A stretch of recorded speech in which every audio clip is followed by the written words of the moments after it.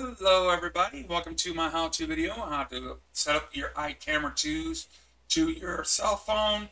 This is for the Android OS phones only. So let you know, I'm not I don't have an iPhone to show you how to do that. It might be a totally different setup or the same setup. You can look on your app store in your on your iPhone to see if they have the same apps or not. Now I doubt it, but you just let you know this is for the Android OS and I'm running a Samsung Galaxy. Okay? There's a few things that are going to be required. You're going to need to have, there's a couple of apps you're going to need to install on your phone, like IP Cam Viewer Lite and Robo Shadow Network Scanning, just to let you know. Um, and then one thing that you want to make sure your phone is connected to your local home network under your settings of your phone. You go under your settings, do your like your Wi-Fi networking settings, connections. To make sure you're connected to your modem or router at home is your and uh, make sure the cameras are connected to the same router at home at the same time. You got to be on the same router device at home and modem. Those cameras got to be connected to that device in order this to work. Just to let you know. Okay. First app we're going to need is the Robo Shadow Network uh, Network Scanner. You want to go to your Google Play Store right here. It's up here Let's do that first. Okay. Robo Shadow. Called Robo Shadow Network Scanner. Look for that app. It's right here. Go ahead and install that app itself right there. Make sure you install this app. Network IP port scanner. It's Robo Shadow. So you need that app to find out what your IP on your cameras are, unless you know it already. You, but if you don't know, this will help you find your IP addresses on your cameras. It said, again, it has to be connected to your phone and your cameras have to be connected to the same router or modem you're using the device, that device on. So let you know, this in order to work. You cannot leave your home with it or anything else. It must be in your house only. You can't go out and just remote in from anywhere outside your home. So let you know for this. It has to be at home only. Okay, Next one we're going to need is IP camera viewer. Um, there's a pro version that costs. The pro version, um, they'll give you more than six cameras, but the free version will only allow you up to six cameras, right? This is the free version, the IP camera viewer Lite. It'll only allow you six cameras on the view. So I only have five, but I still purchased the full version of that. So you need IP camera viewer Lite. So I'll let you know. Okay that's required of this whole thing also. So you can view your cameras. It will not record your, and let you know, it will not record any video. You can view your cameras at your local home only. All right, go back to where your pages, where your app is. Apps are installed, where you got your app, app widgets located. We'll start with Robo Shadow. And you want to click Device Scan. Then click Scan Device Scan. Tap Device Scan, of course, Scan.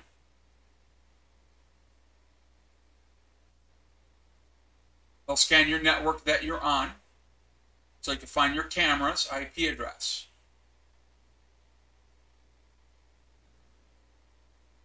Okay, you want to look for, you'll show a bunch of everything that's on your network at your home.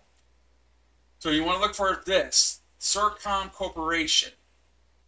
All your Sercomm Corporation IP addresses. You see this says Sercomm? Those are those are your cameras. If you see those on this scanner, that's your cameras. These are each IP address that it'll show you. This will not be your IP address you see on my screen. Just to let you know, it'll be totally different from mine. This is my custom IP address. So you have to go through the scan, do this to see what IP address for each camera is. And write down each one. If you already know them, you can go and just don't worry about that. But again, Sercomm Corporation, look for Sercomm Corporation. Those are your security cameras for iCamera 2. Just to let you know. All right, after you got those written down or whatever you got, um, go ahead and back to the page where your IP camera viewer is. You want to go ahead and open it up, and you will see no cameras are there, and you have your I got your plus sign option right here. You want to click that, and you want to go scan camera. Okay. You want to go ahead and you want to go to this up here. Um, you can put camera. You want that's you and just make sure you put your IP address there of your camera.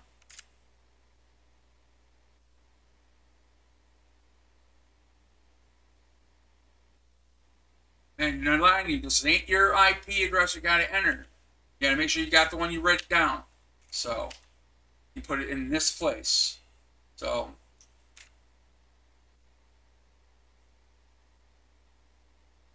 then after you type in your IP address, go ahead and go ahead and test.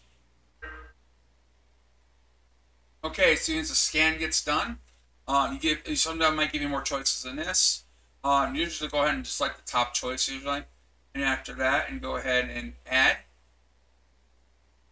and then it'll take you here. So you can go ahead and type whatever you want for the name of the camera right there of your choice. Let you know, want to, and after that, you go ahead and after you get all that done, just click and just tap save. And all right, can go ahead and just go back here, and you have your camera set up right there. See camera one. You can go back to the main page again here. It should come up. See, there's my one of my cameras now. It's my uh, uh, one of my cameras. So, uh, if you want to go again, um, so you can add more cameras. There's one easy way to do it too. you want to go back to the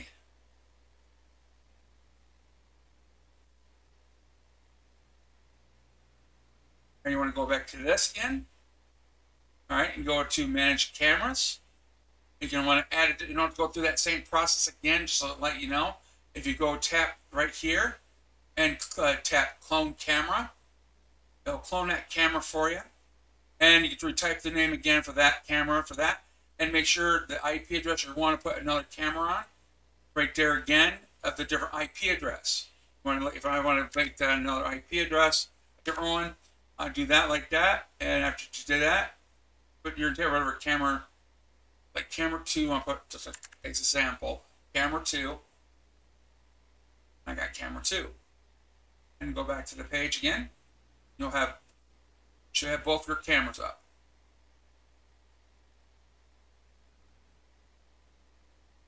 See? Just like so. Yeah, I said you're only allowed up to six cameras on the light version. You can get more on the pro version. You purchase it, but you're only allowed up to six cameras. So I know. You only can view these cameras from your local at home at network only. You can't leave the house with you. Want if you leave the house with your phone, you won't able to view them from anywhere eh, from any other location.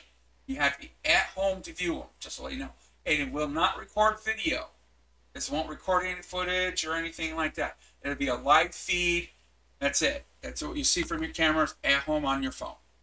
That's that's how that works. So, and anything else, if you got any questions, leave your comments below. Um, I'll try to get to you as soon as possible to answer it. And I hope you find this video helpful and informative.